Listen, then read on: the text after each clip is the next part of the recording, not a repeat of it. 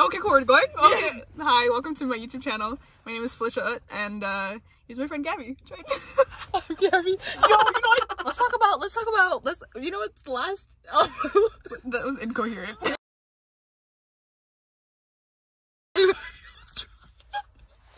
I try. I get excited, and then the word. So today is the last day of January. Oh my god. So Felicia's IQ is. yeah. Okay. It's low. Of the year. Yeah. yeah, yeah. it's the last day of the year. Yeah. So like year in review. Okay. Oh, hey, what's happening, family and friends? How's everybody doing? Today is the last day of the year of 2020. Praise, Praise Jehovah. this is Gabi. Hi, friends. This is my best friend from high school. Yes. Taking those a while ago, hey? Yeah. Because we're, what, we we're were like. graduating now. Like, university. Mm -hmm. Okay. First question What is the hardest lesson you have had to learn this year? Mm.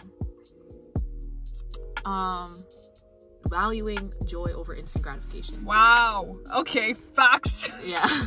So, um, I realized like I had this whole thing. I would do things because it makes me happy in the moment. If I really wanted to be in a place where I was really good, um, I had to start making decisions where they may not be great in the moment for me or it may not make me feel comfortable, mm. but it's something that I'm working towards to better myself, to get the joy that I want one yeah. day. That was a really good one. That was a powerful one.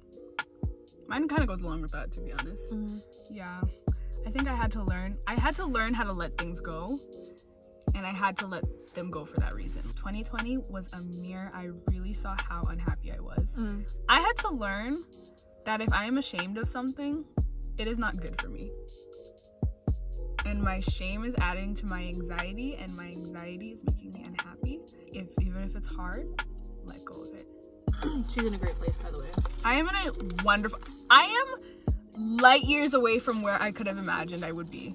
I've never experienced a transformation in one year like I have this year. What changes are you making for 2021? Um, slash, who do you want to be a year from now? So we do like two parts? Yeah. Okay, so what changes are you going to make for this upcoming year? Okay. Okay, the easy ones. I say this every year, but I really am gonna try. I really am gonna try. I need to take care of myself. I'm gonna try drinking water, um, eating three meals is pushing it. I'm gonna say eating two meals a day, um, I just don't believe in breakfast. Smart we'll goals. yeah. Um, exercise, my gosh, it's not even a part of my life. like, those are the changes I'm gonna try to make. changes. I guess taking the lessons I've learned from 2020 and actually applying them. See, mm. because you know I've learned a lot. Mm. I'm very knowledgeable. Mm. Just need to gain wisdom by actually applying these things. Um, yeah, I'm gonna try and take some risks as well. Risks that are going to enhance the person that I'm trying to actually be. Who do you want to be a year from now? I want to be the person that God had renamed me to be. Wow. So basically, a year ago, God gave me a new name. It's the whole story. That name is Layton, and it basically means to let go of, to refrain from, to let, to allow. I have a control problem. Always thinking that I know better, always wanting what I want in that moment and not really waiting on God. So I kind of want to let go so that I can let I can let God be who he needs to be in my life. Um and so he can call me by that name. Like this sounds bad, but like hear me out. Like I kind of want to go back to who I used to be in like junior high. When I was younger, I had like I was just so confident in who I was. And I feel like I, I have kind of lost my way a little bit and I want to go back to that. I want to be in a place with God where I feel like He is my best friend again. Because there was a time He was, and now He's like a distant, long lost friend who I still care for but see very rarely. Who did God become to you this semester? In not an awkward, like romantic way, but like on an intimate. Okay, understand. I hope whoever's watching this can understand.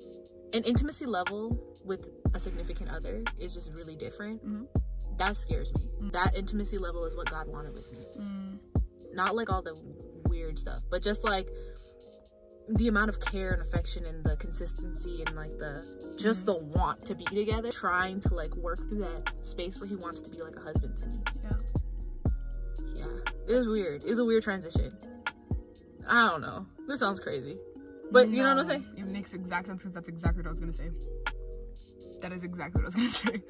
Stay connected. We don't go to school together Yeah. anymore. but no, like, okay, so basically we were having worship for an AY meeting, and Kai bought this book. and It has a bunch of names that people refer to God to Mm. as as. And we were supposed to like put our hand and pick a random one Yeah. and then read the description and explain like how it relates to your situation, right? Mine, I flipped through and it was husband. You're not cold. Putting your life jacket on. so I was gonna say the same thing. Like for me, God has become my partner, like my significant other, basically. And this is what I realized. I realized that this image of God being my father is really hard for me to relate to. Like I get it, but like I don't resonate with it as much as when I think of him as like my husband. I realize how nonchalant I am about my relationship with God. Because when I think about what I expect out of my partner, Mhm. I expect all these things from my partner. In my relationship with God, I am none of those things. And I realized this idea of love that people have been giving me that is not love.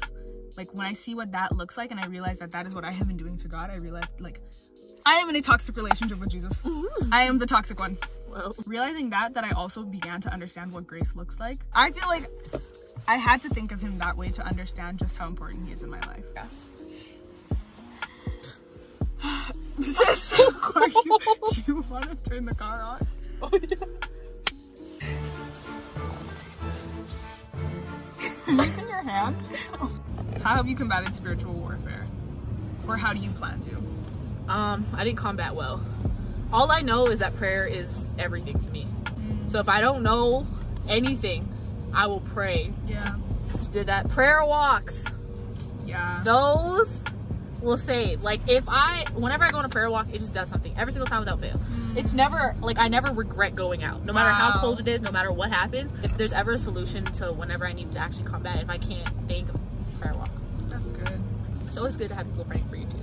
Amen. I think that's something that Wow. I needed to do. Like, actually, if Amalia is watching this, Amalia, thank you so much. My grandma told me like have people pray for you around the clock. Like for every day, have somebody different praying for you. Um, one of the one of the people I asked to pray for me um, was Amalia, and Amalia said that she would pray for me every Sunday. And so every Sunday she still does it. Like she'll still wow. pray for me. And so even when we're literally not in the same country, like I know when you need it. So for myself, I think, like I did a horrible, horrible, horrible job at combating spiritual warfare this year. This semester, like, has been just a whirlwind for me, and I think like having friends who pray for me, and not just pray for me, but pray with me, like you're saying, like That's- has made such a difference in my life. Mariah is, my, she's my partner in everything. I love that girl.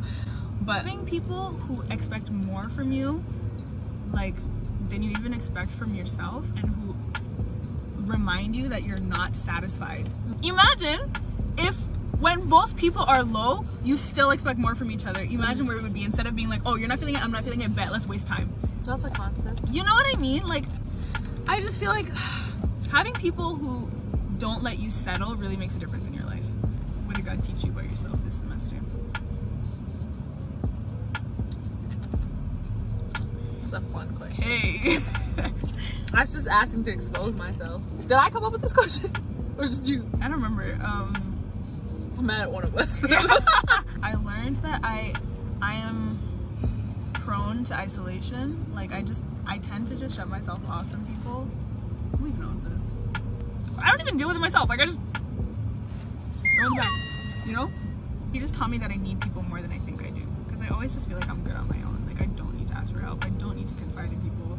I don't I don't need it. Like it's fine. It's not fine. I learned something that you said earlier that I'm actually capable um, of a lot of stuff. I don't want to compromise what's good about me, but I can also make changes in my life to use what has kind of gone wrong and put it into something positive. Okay. Closing remarks. Closing remarks. This was a horrid year. Are you alright? You choked. um, You're so dumb. I hated the first half of this year. I actually really enjoyed the last half of this year. I did. As horrible as it was, oh, sounds so cheesy, but like it doesn't really matter. like it doesn't really matter what's happening to you if you know who you are.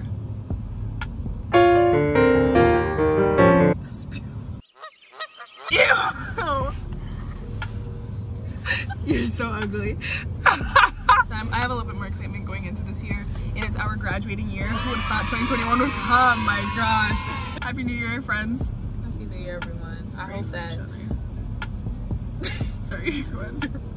Just take this. The Gabi Show. I don't even know why I'm here. I don't even. I forgot whose channel it was. I'm sorry. I'm sorry. Let me just. Happy New Year, everyone. Like, comment, subscribe, share. Like, share, comment, subscribe. Here you go.